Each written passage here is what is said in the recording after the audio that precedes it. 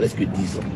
Donc, je veux vraiment vous dire tous merci pour votre solidarité, pour votre confiance en l'homme et pour tout ce que vous avez fait, de sorte qu'aujourd'hui nous puissions nous retrouver ici à, euh, La Haye. Après cela, Diako à Charles, mais aussi félicitations. Parce que dans l'histoire euh, d'une nation, il y a ceux qui font l'histoire, ceux qui marquent l'histoire, ceux qui font avancer une communauté, ceux qui contribuent à formater les consciences, à orienter l'avenir du pays, à donner une identité, une âme à une communauté. Une communauté n'émerge pas sans épreuve. Une communauté ne construit pas un ensemble de valeurs sans difficulté. Nous sommes en Europe et l'histoire de l'Europe euh, l'illustre. Mais aussi, nous venons de Côte d'Ivoire et l'histoire de la Côte d'Ivoire aussi le mentionne. Nous sommes des héritiers d'une chaîne d'Ivoiriens qui ont subi ces épreuves pour que la Côte d'Ivoire soit aujourd'hui ce qu'elle est. Et nous, nous prenons, je dirais, le relais pour faire en sorte que demain la Côte d'Ivoire reste une grande nation. Et c'est dans ces épreuves que nous pourrons construire.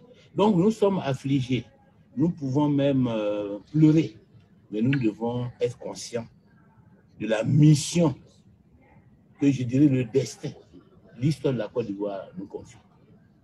C'est pourquoi, je, en même temps que nous pleurons, en même temps nous savons dans quelle euh, histoire s'inscrit la situation que nous vivons aujourd'hui. Quand ici à La Haye, toutes les télévisions du monde sont braquées sur les audiences depuis 2014, 2013, 2011, en ce qui concerne le président Gbagbo, j'ai dit que voilà des hommes qui s'inscrivent dans la lignée. Nous, Blé vient de- du pays BT, il connaît l'histoire des Okubeli. Nous, nous venons du pays Aïni. Il y a eu aussi des patriotes qui ont été déportés au nom de l'histoire de la Côte d'Ivoire, qui sont morts en exil pour certains. D'autres sont restés dix ans en exil parce qu'ils ont osé se dresser contre la colonisation. Parce qu'ils ont osé se dresser pour la dignité de l'Afrique et des Africains. Je crois que nous sommes dans la même dynamique. Rien n'a changé. Ce sont les hommes qui changent, ce sont les circonstances qui ont changé. Mais c'est le même combat pour la dignité africaine que nous menons tous et que aujourd'hui Blaise Charles et le président Laurent Gbagbo incarnent dans cette confrontation au niveau international face à la justice internationale. C'est pourquoi nous sommes euh, à la fois meurtris mais fiers. Et la décision d'acquittement qui a été rendue cette année nous rend encore davantage fiers. Parce que cela signifie qu'au-delà de tous les complots qui ont pu être tramés contre l'Afrique, parce que ce n'est pas Blé Goudé en tant qu'individu ou, ou Laurent Gbagbo en tant qu'individu qui sont concernés, c'est l'idéal qu'ils portent. C'est, je dirais, les valeurs qu'ils défendent. Ce sont ces valeurs qui sont en jeu. Et ce sont ces valeurs qui ont triomphé au cours de ce, au de ce procès. C'est pourquoi, à nous disons toujours à ceux qui essaient de faire traîner les choses qu'il faut savoir être beau joueur. Lorsqu'on s'est mis au service d'une cause et qu'on a perdu, il faut savoir reconnaître qu'on a perdu. Faut savoir reconnaître la victoire. Parce que l'essentiel, c'est la décision.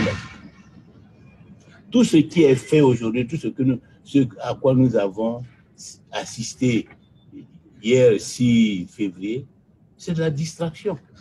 Ça n'apportera rien de plus à la victoire de l'acquittement, à la victoire de la vérité, à la victoire de la justice, à la victoire de la dignité. Ça n'apportera rien. Et je dis souvent que c'est même une façon même peut-être d'embellir cette victoire que de tenter de faire distraction. Et donc, euh, nous ne pouvions pas ne pas être, je dirais, témoins de cette histoire. C'est pourquoi, depuis toujours, nous avons souhaité être là. Mais comme euh, Charles l'a dit, il y a toujours un temps pour chaque chose. Et je crois que le destin a voulu que ce soit au moment où ce mélodrame va prendre fin que nous soyons là pour être associés à cette victoire définitive de l'Afrique. Personnellement, je voudrais vraiment m'en réjouir. Réjouir. Et c'est pourquoi je vous ai salué dès le départ, parce que je considère que vous êtes les principaux acteurs de tout ce qui va arriver euh, à l'issue de, cette dernière phase du procès. Je voulais vraiment dire merci aux unes et aux autres, dire euh, toute mon admiration à Charles lui dire euh, tous nos, encouragements. Et souhaiter que dans les jours à venir, nous puissions nous retrouver à Abidjan pour poursuivre la lutte.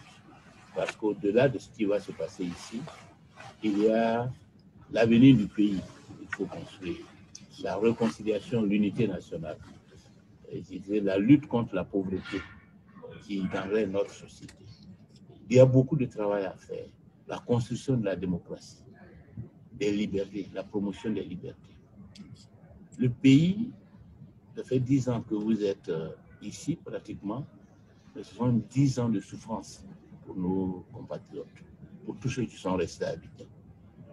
Ça fait dix ans que ce procès se poursuit, mais ce sont dix ans d'amertume, d'affliction pour les Ivoiriens, dix ans d'incertitude. Et en cette année 2020, les Ivoiriens rêvent d'une Côte d'Ivoire réconciliée. Les Ivoiriens rêvent d'une Côte d'Ivoire où tous ses fils, toutes ses filles se sont retrouvés pour se parler, et c'est pour cela que nous, nous avons toujours appelé pour la réconciliation. C'est vrai que le combat que nous avons mené depuis que je suis sorti n'a pas été facile. Parce que lorsque vous sortez d'une crise comme celle-là, les meurtrissures, les frustrations, les douleurs de toutes sortes, douleurs des veuves qui ont perdu leur mari, dans la guerre, ou ceux qui ont perdu leurs femmes, ceux qui ont perdu leurs enfants, qui sont disparus, ceux qui voient leurs enfants en prison ou leur, leur mari en prison. Il faut, lorsque vous êtes à la tête, il faut faire face à tout cela. Mais en même temps, ouvrir des perspectives. Et ce n'est jamais facile. Ce n'est jamais facile d'appeler à la raison d'appeler à un sursaut parce que le cœur saigne. Et ça va être tout ce monde qu'il faut construire, qu'il faut dépasser la crise. Ce n'est jamais facile de trouver un consensus. Ce n'est jamais facile de mobiliser tout le monde autour d'une voix. Et c'est la situation que nous avons connue. Si vous avez entendu parler de la division au sein du FPI, c'était lié à ça. C'était les conséquences de la crise. Ce sont les conséquences des meurtrissures des uns et des autres. Comment amener les gens à comprendre que dans le contexte où nous nous trouvons, c'est vrai que nous sommes dans les mailles, mais il faut qu'on avance. C'est vrai que nous souffrons, c'est vrai que nous pleurons, mais il faut sécher ces larmes et, pour, et marcher. Ce n'est pas facile. Et donc, euh, pendant ces dernières années, le parti a été, je dirais, malmené autour de ces questions, autour de ces meurtrissures. Mais comme euh, Charles l'a dit, il y a un temps pour chaque chose. Il y a un temps pour pleurer. Il y a un temps pour euh, les lamentations. Mais il y a un temps aussi, parce que l'avenir du pays l'exige pour s'élever, pour faire un effort, pour dépasser ses meurtrissures et pour essayer de regarder l'avenir. Pour penser à ceux qui sont encore vivants, pour penser à ceux qui sont encore en prison, qu'il faut sortir de prison qui sont encore en exil, qu'il faut, à qui il faut ouvrir la voie du pays, à ceux qui sont dans le pays, qu'il faut rassembler, qu'il faut unir, parce que nous ne serons jamais une grande nation si nous n'avons pas l'unité nationale si nous n'avons pas la réconciliation nationale. Et nous ne pourrons pas tirer profit de nos potentialités, nous ne pourrons pas faire face à l'avenir de nos enfants, de nos petits-enfants, si nous ne construisons pas une grande nation dans la tolérance, dans le dépassement des conflits du passé. Et je crois qu'aujourd'hui, ce que nous vivons au niveau du FPI présage de ce que nous allons vivre au niveau de toute la Côte d'Ivoire. Un peuple rassemblé, un peuple réconcilié. Je voudrais vous annoncer que j'ai demandé à rencontrer le chef de l'État. J'ai été toujours meurtri par euh, la posture qu'il a adoptée face à cette crise, face à cette situation. Au-delà de ce qui s'est passé en 2011, 2010, 2011. J'ai souhaité, j'ai espéré qu'il saurait s'élever au-dessus de cela. Il comprendrait que si c'est retrouvé là, contre nous, notre volonté, il avait quand même un devoir de réconcilier. Il avait un devoir de faciliter la résolution de la crise. Malheureusement, jusqu'à présent, nous n'avons pas senti cela. Et personnellement, j'ai été meurtri de l'initiative même du gouvernement de venir jusqu'ici à la CPI demander que le président Gbagbo et Charles reste en liberté sous condition. C'est une situation que je ne peux accepter. Et c'est pourquoi j'ai demandé à le rencontrer. Il a répondu pour dire que, étant donné qu'il est à Addis Abeba, que son premier, son vice-président me recevrait jeudi prochain. Mais je vais reposer le problème. Parce qu'il nous appartient, nous que Dieu a permis de rester en liberté, il nous appartient de trouver une issue à tout cela. On ne peut pas accepter que le gouvernement de Côte d'Ivoire demande face à la communauté internationale, face à l'histoire de la Côte d'Ivoire, que des fils, des dignes filles de ce pays, quel que soit ce qui s'est passé en 2010-2011, restent dans les liens de pratiquement de la détention. On ne peut pas ça. Il faut que Ouattara le comprenne. Et nous avons le Au-delà de ce qui s'est passé, moi, je crois que c'est peut-être le spectacle qu'on voulait offrir à la communauté internationale, mais ce n'est pas là que se trouve la solution de la Côte d'Ivoire. Et nous allons agir pour que Ouattara révise sa position, pour que Ouattara comprenne que la Côte d'Ivoire n'est pas un bien privé, c'est une nation.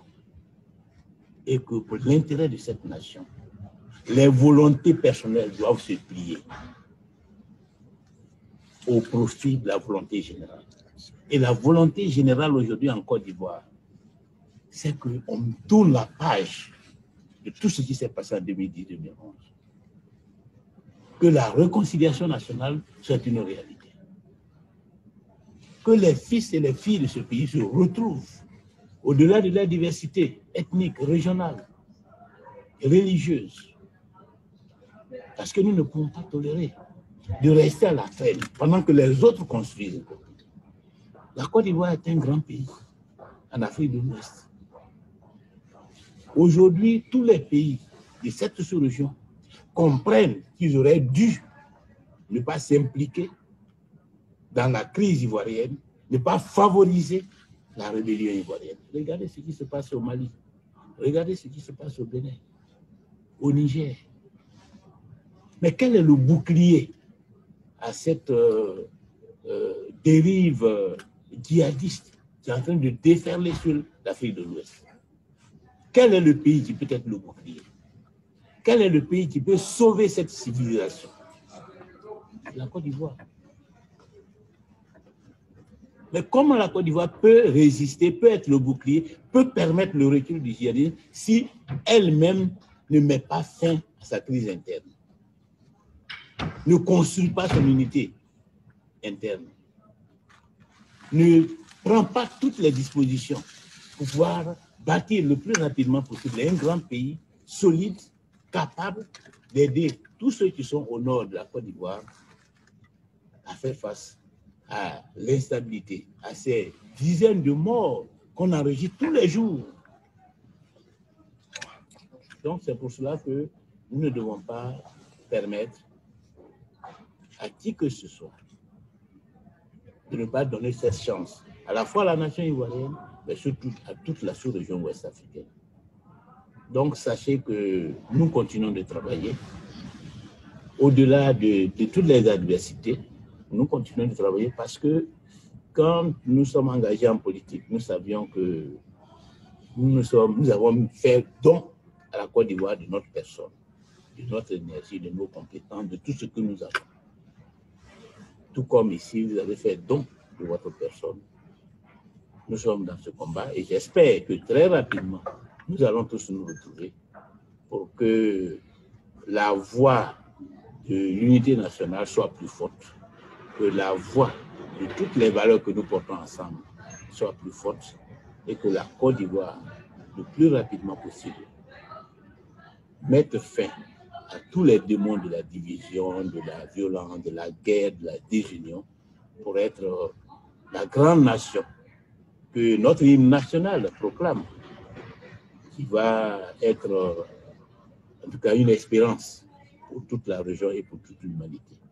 En tout cas, encore une fois, félicitations pour le combat que tu as mené ici.